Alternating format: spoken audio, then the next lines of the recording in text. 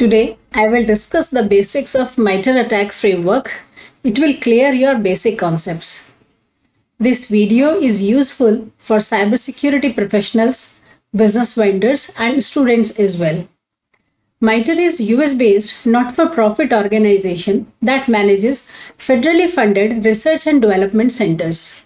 It supports US government agencies' research projects in the aviation, defense, healthcare, homeland security, and cybersecurity, etc.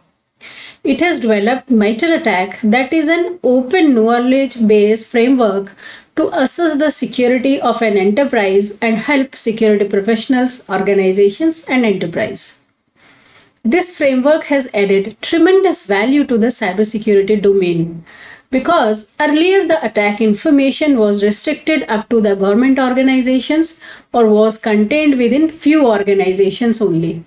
Now that information is open to public for wider uses such as research and to develop proactive defensive mechanisms.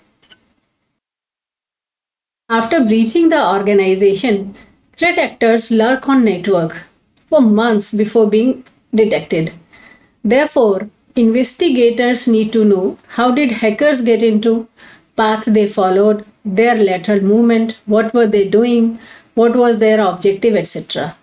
So question arises how to investigate the breach. What to do proactively so that data breach or cyber attacks can be minimized or at least there is minimal harm. How to look for vulnerabilities. So let us understand the basics know-how of MITRE ATT&CK and, and understand how does it help. MITRE ATT&CK provides deep insights into attack and attackers' behavior. This framework is a wonderful library of variety of malicious behavior that is tactics, techniques, procedure and common knowledge. Because it is a comprehensive knowledge base of cyber threat intelligence, it provides actionable information and that is very important and useful part of this framework. This framework provides attacker methodologies, goals along with protection against many aspects of real world cyber attacks. In MITRE ATT&CK, attack stands for adversarial tactics, techniques and common knowledge. Adversarial refers to attackers that are also known as adversaries or threat actors or hackers. And tactics are exploits that attackers use. Example of tactics may be defensive evasion, lateral movement, and exfiltration. And the techniques are how threat actors use the exploits.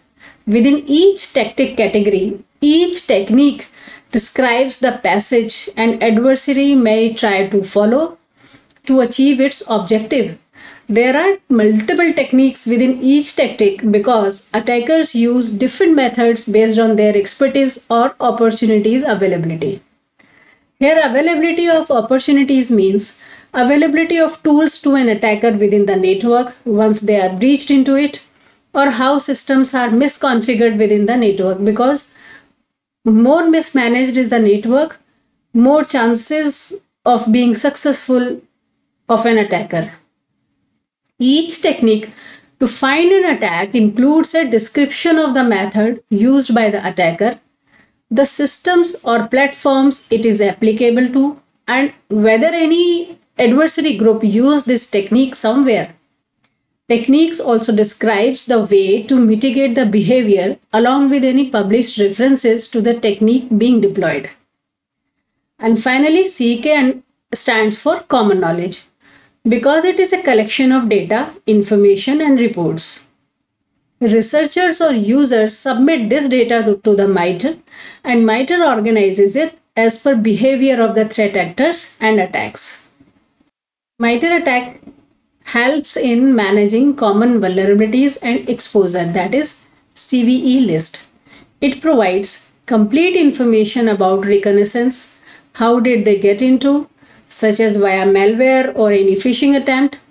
What did they do after getting into the network, such as privilege escalation, lateral movement, or exfiltration? How did they evade your defenses, etc.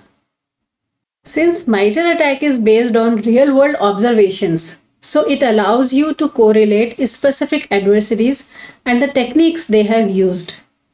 Because adversaries often use different techniques to attack different platforms and technologies. The MITRE ATT&CK is divided into a series of technology domains. Currently covered domains are Windows, Mac, Linux operating system network, uh, enterprise network, and mobile devices such as Android and iOS.